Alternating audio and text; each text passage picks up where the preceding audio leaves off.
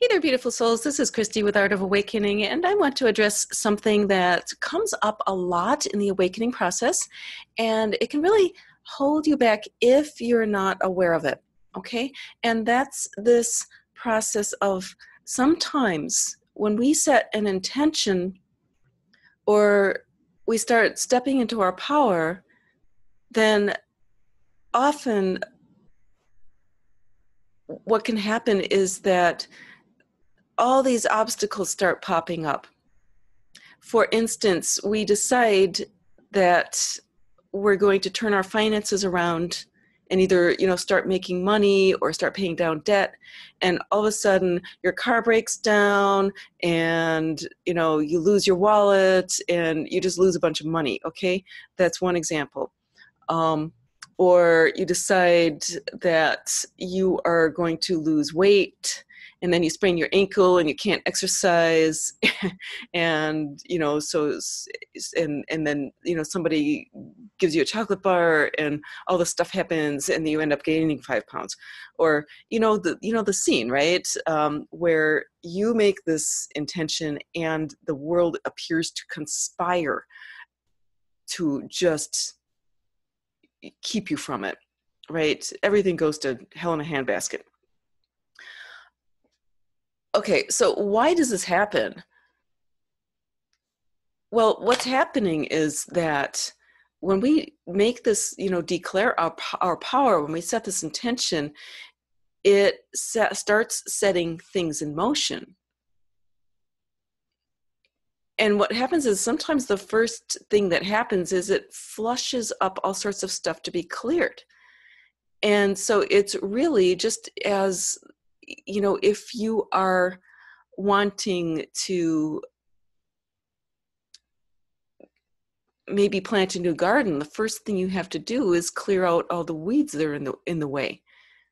You know, any brush or weeds, or if you're, you know, wanting to redesign a room, then the first thing you have to do is kind of take everything out of there. So, and a lot of times it's stuff that you're not even aware of or don't, don't even think about until it's time to address that thing and then you realize there's all this stuff in the way that needs to be taken out.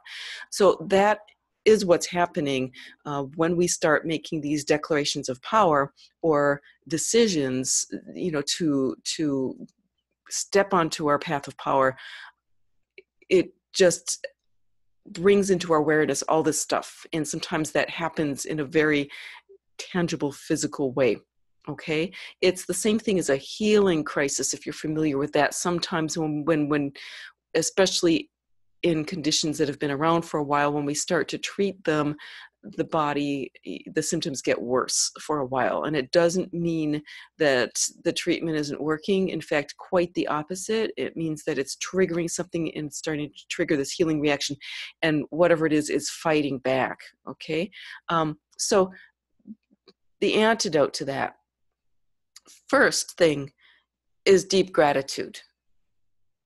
And I know it's really hard to be grateful for things that are just nasty or you know things that are appear to be exactly the opposite of what we want but what the gratitude is is just gratitude for the process okay so thank you. You know thank you for the car breakdown because it's showing me that you know that this energy has been put in motion. And it's also showing me that i've got the strength because whatever it is that you that you need to do to get over it it's it's showing you that you've got that power to do it okay? Um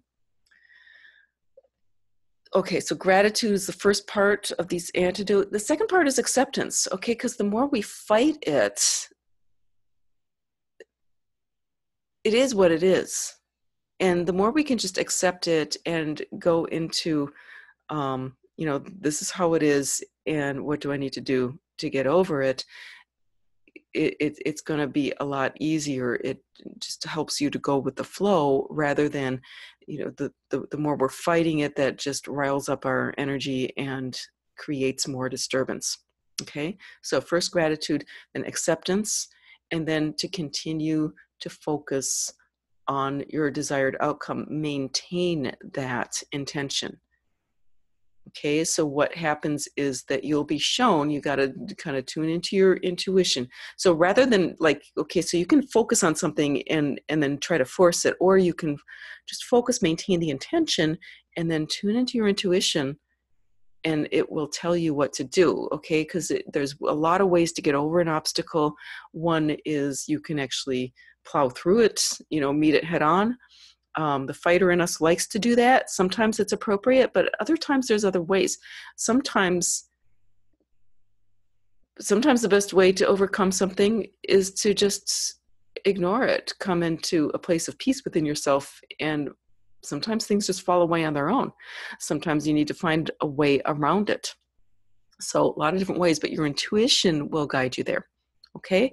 So, if this has happened to you lately, if you've just are are coming into a, a place where there's a lot of obstacles coming up, um, just know that it's part of the process. It's part of the healing process. It's part of the process of coming into your power.